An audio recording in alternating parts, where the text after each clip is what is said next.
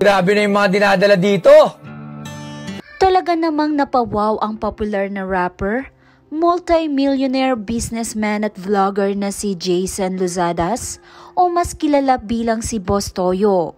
Alam naman ng nakakarami na sikat ito dahil sa kanyang YouTube channel na Pinoy Pawn Star kung saan binibili nito ang mga memorabilia ng mga sikat na personalidad na nagbebenta sa kanya kapalit ang libo-libo hanggang milyon halaga ng mga kagamitan.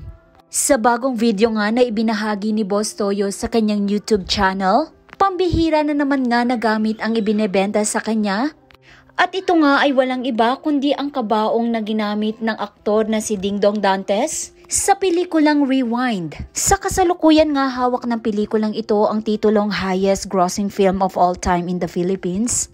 At first time pa umanong humiga sa kabaong ng sikat na aktor na si Dingdong. Personal nga na idinala ni Pasky Ilagan, may-ari ng St. Athanasius Memorial Chapel, ang kabaong na ginamit umano ni Dingdong Dantes sa kanyang pelikula.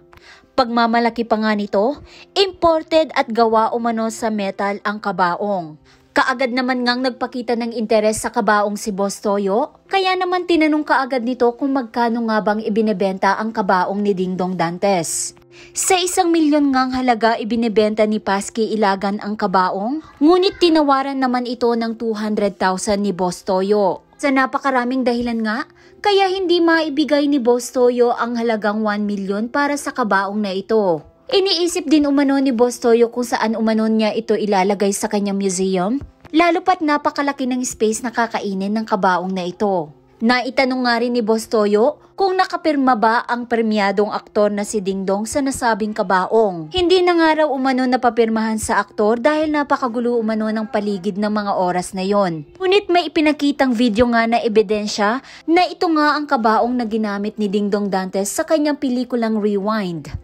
Nagkatawaran pa nga si Boss Toyo at may-ari ng St. Athanasius Memorial Chapel hanggang sa magkasundo sila sa presyong 250,000 pesos. At dahil nga sa bagong item na nabili ni Boss Toyo, muli na naman nga itong trending at umaani ngayon ng samot-saring reaksyon mula sa mga netizens. Ayon sa iba, masyado umanong mahal kung ibebenta ito ng isang milyon.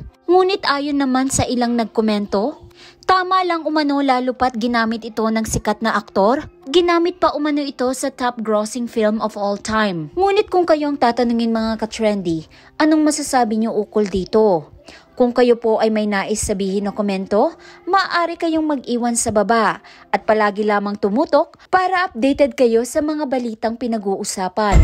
Yan ang trending!